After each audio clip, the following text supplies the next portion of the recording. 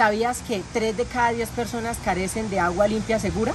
4 billones de personas carecen de sistemas de saneamiento básico como letrinas y retretes. Más del 80% de las aguas residuales, producto de las actividades humanas, son vertidas a los ríos y a los mares sin ningún tipo de tratamiento. Una de las actividades que se realiza desde gestión ambiental con acompañamiento del equipo de jardinería y seguridad y salud en el trabajo es la limpieza de la quebrada Palmichala.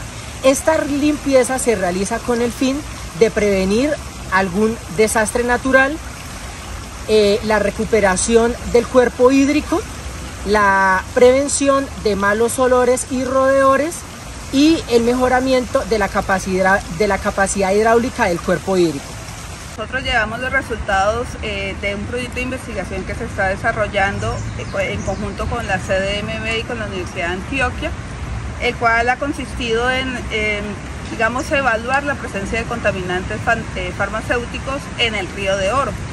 ¿Por qué en el río de Oro? Pues porque es el río que recoge todas las aguas residuales del área metropolitana de Bucaramanga. En este estudio evaluamos eh, cuatro puntos de monitoreo en el río de Oro y evaluamos eh, varios contaminantes farmacéuticos, de los cuales encontramos dos en particular.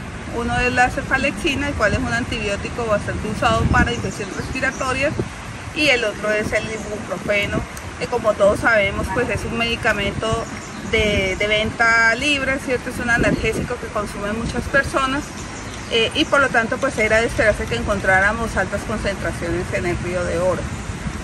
En cuanto a la cefalexina pues también encontramos altas altos cantidades, eh, lo cual nos ha llamado la atención especialmente en una fecha eh, que se presentaron altas concentraciones, pero bueno, esto lo que nos indica es que todavía hay mucho desconocimiento en cuanto a estos, a estos contaminantes en el río. Eh, la idea es seguir eh, avanzando en el proceso, avanzando en el conocimiento en cuanto a este tema, ya que es el primer trabajo que se realiza aquí en Bucaramanga para evaluar este tipo de contaminantes en el río de Oro y así pues poder ir tomando acciones para mejorar la calidad que tenemos en este río. Desde la Facultad de Ingeniería Ambiental estuvimos celebrando el Día Internacional del Agua cuyo lema este año era Sé el cambio que tú quieres ver en el mundo. Para esto tuvimos dos conferencias.